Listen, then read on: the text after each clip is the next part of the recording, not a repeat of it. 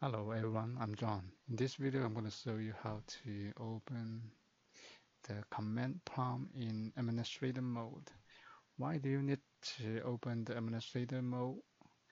Because uh, in Windows 7 or Windows 8, um, without the administrator mode, you cannot run utilities like um, check disk and uh, ipconfig. So let me show you what I mean. So um, let me open the task prompt in command in the regular mode, command prompt.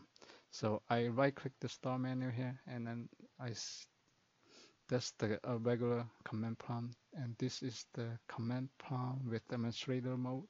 So if I open this one and type in the command check disk, enter, and then you see access denied as you're not do not have a, a sufficient privilege.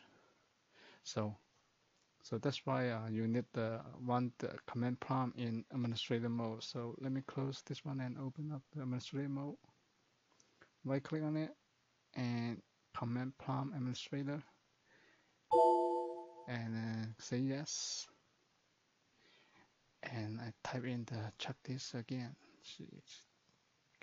DSK enter. And then it's going to check the hard drive for me. It's going to take few minutes.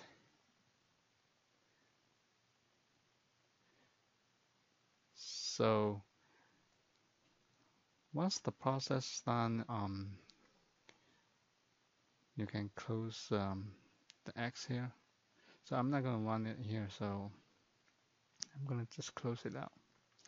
So today you learn how to open the command prompt in administrator mode and I see you in next video. Thank you.